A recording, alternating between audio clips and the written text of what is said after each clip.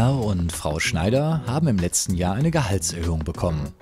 Ihr Einkommen ist dadurch gestiegen oder anders formuliert, der private Haushalt der Familie Schneider verzeichnet ein Wachstum. Wenn man von Wachstum spricht, dann betrachtet man also erst einmal, wie sich eine wirtschaftliche Größe, hier das Einkommen der Familie, in einem bestimmten Zeitraum verändert.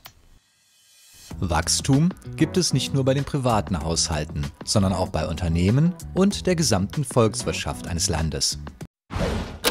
Ab hier sehen Sie den Film im Schnelldurchlauf. Im Original haben die neu und hochwertig produzierten Schulfilme eine Länge von drei bis zehn Minuten. Die wichtigsten Aspekte jedes Themas werden speziell für den Einsatz im modernen Schulunterricht anschaulich aufbereitet. Die Inhalte entsprechen den Vorgaben der aktuellen deutschen Lehrpläne